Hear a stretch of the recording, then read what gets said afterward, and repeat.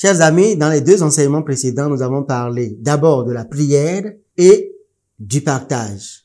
Aujourd'hui, enfin, nous parlerons de la pénitence. Le jeûne, par définition, c'est la privation de nourriture. Alors, nous pouvons nous priver de nos friandises, de nos chocolats, de nos bonbons, de tout ce qui nous fait plaisir. Mais au-delà de cela, l'Église nous propose d'autres formes de jeûne. Toi qui avais l'habitude de passer toute ta journée devant la télévision, le temps de carême t'invite à éviter un peu de consacrer trop de temps à la télé, trop de temps à l'internet. Le temps de carême t'invite à laisser un peu le téléphone de papa et de maman de côté. Toi qui avais l'habitude d'insulter tout le monde, le temps de carême t'invite à te corriger un peu. Et tu pouvais déjà le deviner. Toi qui avais l'habitude de mentir à papa et à maman, même à ton maître à l'école, le temps de carême t'invite à redoubler d'efforts par rapport à la vérité. Le temps de carême nous invite à nous réconcilier avec nous-mêmes, à nous réconcilier avec nos amis, à nous réconcilier avec nos parents.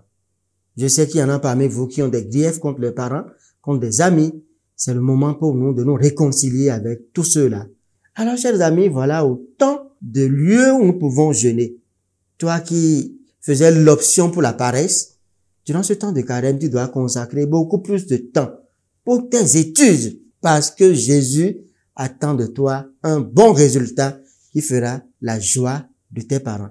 Si nous nous efforçons à bien vivre tout cela, l'amour du Seigneur pourra grandir en chacun de nous. Alors pour finir, je voudrais nous inviter à faire deux engagements.